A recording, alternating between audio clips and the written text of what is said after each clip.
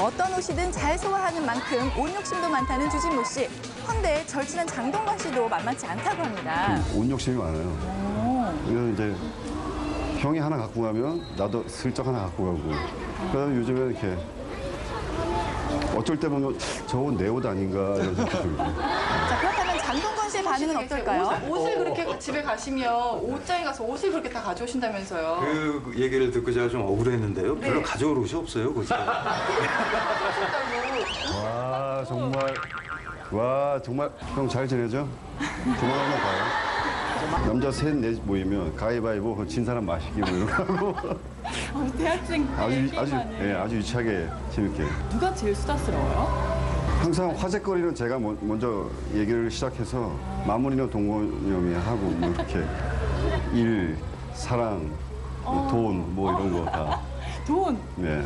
그래서 지금 굉장히 열심히 하고 있거든요. 여러분 많이 사랑해 주십시오.